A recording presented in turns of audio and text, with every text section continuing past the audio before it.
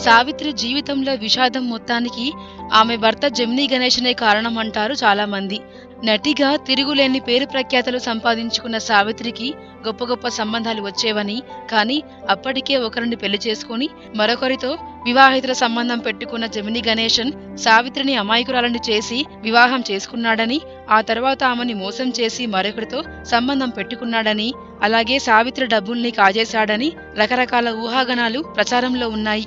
ఇందులో చాలా వాటికి మహానటి సమాధానమిచ్చింది. సావిత్రిని జమిని పెళ్ళి చేసుకోవడానికి దారితీసిన పరిణామాల్ని సానుకూల దృక్కోణంలోనే చూపించారు. ఆ తర్వాత జమిని దారితప్పిన విషయాన్ని కూడా కొంచెం సున్నితంగానే చూపించారు. అయితే సావిత్రి ఆర్థికంగా సంక్షోభంలో పడ్డానికి మాత్రం ఆయనేమీ కారణం కాదన్నట్లే సినిమాలో చూపించారు.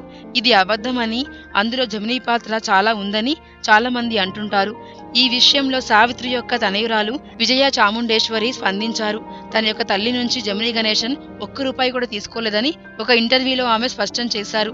అదే సమయంలో జెమిని గణేశన్ నుంచి కానీ ఆయన యొక్క పెద్ద భార్య కుటుంబం నుంచి కానీ సావిత్రి కూడా ఏమీ తీసుకోలేదు అని అన్నారు. జమిని పెద్ద భార్య అలిమేలుతో సావిత్రికి మంచి సంబంధాలుండేవని ఆమెను జమినీలాగే సావిత్రి కూడా బాబ్జీ అని పిలిచేదని తాము ఆమెను పెద్దమ్మ అనేవాళ్ళమని ఇరు కుటుంబాల మధ్య రాకపోకలుండేవని చెప్పారు. అంతేకాక జమిని పెద్ద భార్య పిల్లల్ని సావిత్రి ఆదరించేదని అమ్మాయిలకు జడలు వేయడం భోజనం కూడా పెట్టేది అని అన్నారు. సావిత్రిని ఎక్కువగా మోసం చేసింది ఆమె బంధువులు పనివాళ్ళే అని ఆమె స్పష్టం చేసింది. వాళ్ళ వల్ల చాలా నగలు డబ్బు ఆస్తులు పోయాయన్నారు.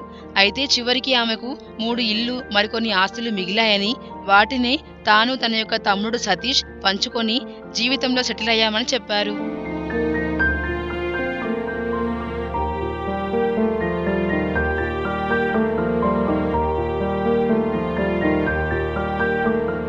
ప్లీజ్ సబ్స్క్రైబ్ న్యూ వేవ్స్ ఇలాంటి మరిన్ని మంచి వీడియోలు కావాలని కోరుకుంటున్నారా? అయితే పక్కనే ఉన్న గంట సింబల్ను క్లిక్ చేయండి. అలాగే సబ్స్క్రైబ్ చేయండి.